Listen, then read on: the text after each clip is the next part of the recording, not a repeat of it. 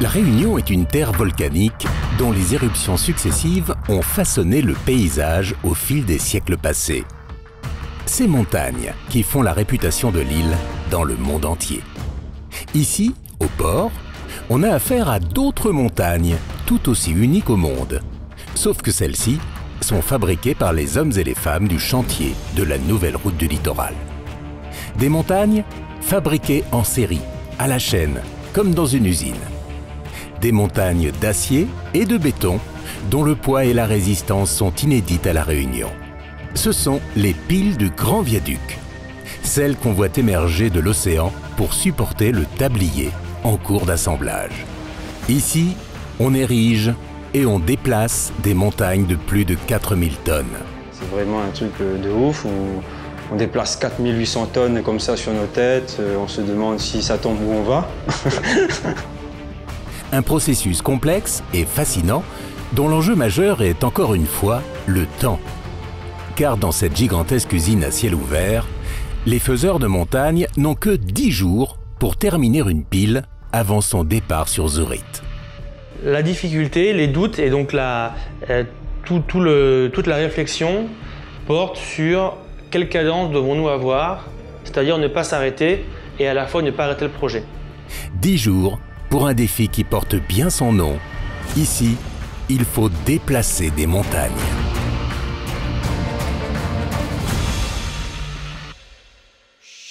Dix jours. Dix jours pour fabriquer l'embase de la pile, le pied qui reposera sur le fond de la mer.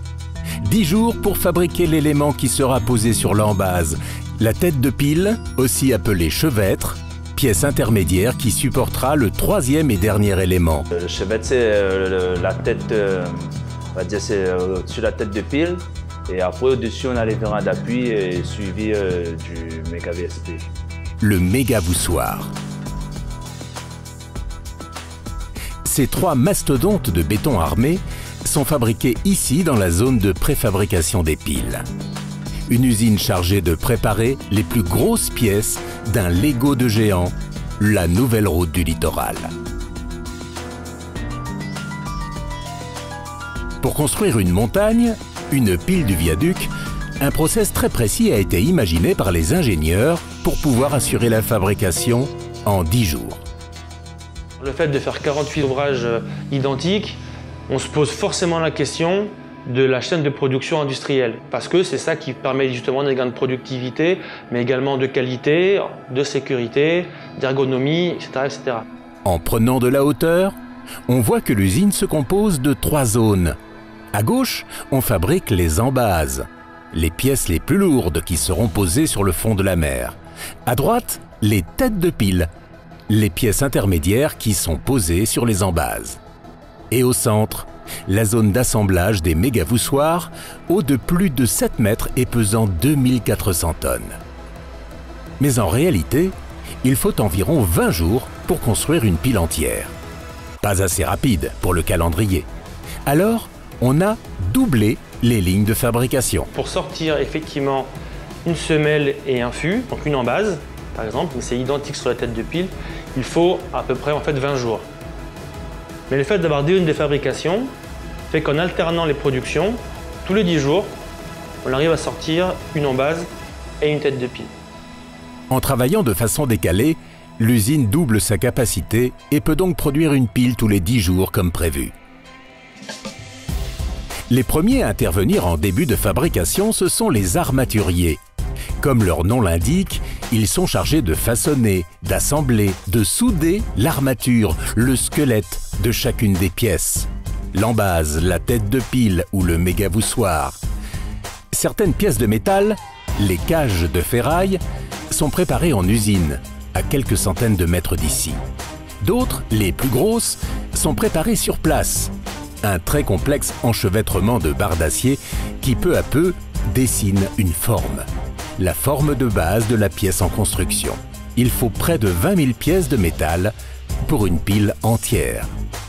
Ensuite, comme en pâtisserie, on vient placer un moule tout autour du squelette en acier. Dans le monde du bâtiment, on appelle ce moule le coffrage. D'énormes parois de métal qui, une fois assemblées, dessinent parfaitement la forme souhaitée. il ne reste plus qu'à couler le béton à l'intérieur du coffrage et attendre qu'il se solidifie. En premier, on fabrique la semelle. C'est cette partie massive qui ira se poser sur le fond de la mer. Sur cette semelle, on élève le fût de pile. Le fût, en fait, c'est la partie qui se trouve entre le chevêtre, donc c'est la partie évasée sur laquelle est posé le tablier, et la, et la semelle, donc le socle qui est posé au sol. Donc entre ces deux parties-là un peu spécifiques, il y a le fût qui est souvent basiquement cylindrique et qui sur ce projet-là a une forme plus elliptique. Construit de la même façon avec une armature de métal, un coffrage qui l'entoure pour couler le béton à l'intérieur. Ces parois sont suffisamment épaisses et solides pour résister à la houle et même à une collision avec un bateau. Mais curieusement, l'agression la plus dangereuse, c'est l'eau de mer.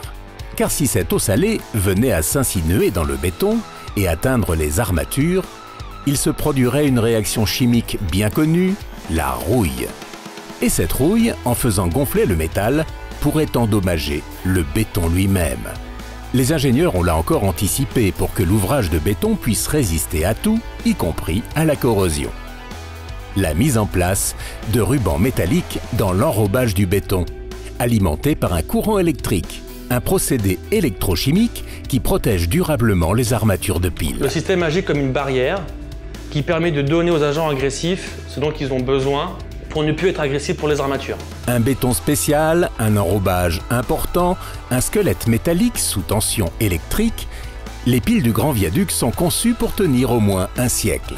La durée de vie minimum demandée par le maître d'ouvrage pour chaque partie de la nouvelle route du littoral. Au fur et à mesure de l'avancement des travaux, la pièce en construction est déplacée comme sur le tapis roulant d'une usine. Mais ici, pas de tapis roulant. Ce sont des rails qui permettent le déplacement des énormes pièces de béton. Des rails dans lesquels circulent des poutres de ripage. Ce système est composé de deux parties distinctes sur deux rails différents et composé de 12 vérins de 250 tonnes. Donc il y a au total 24 vérins qui permettent de soulever la pièce. C'est un système hydraulique, donc il y a tout ce qui est système hydraulique, il y a des vérins. Il y a aussi des laits à comprimer qui permettent de faire bouger le système sur les rails. De lourdes machines qui remplissent deux fonctions. La première est de soulever les pièces de béton, la deuxième est de glisser lentement à l'intérieur des rails pour les déplacer. Donc il y a deux systèmes de vérins, les vérins qui lèvent et les vérins qui poussent.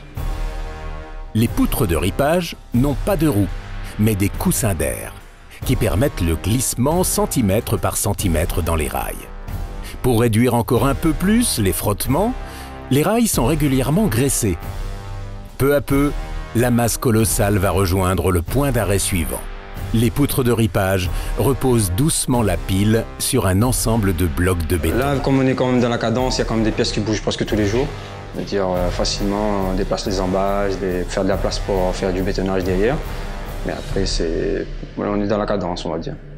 Les embasses d'un côté, les têtes de pile de l'autre, les mégavoussoirs au centre, le processus de fabrication est parfaitement rodé. On soude les squelettes en acier, on met en place le coffrage, on bétonne à l'intérieur, puis on ripe de place en place jusqu'à Zorite. Donc le système de ripage emmène la pièce jusqu'au bout et repose la pièce sur des poteaux qui sont sur Zorite. Le tout à raison d'une pile complète tous les 10 jours. Cette unité de fabrication industrielle est quasiment unique au monde. Elle permet de produire à une cadence élevée des pièces massives. De cette façon, le viaduc progresse très rapidement.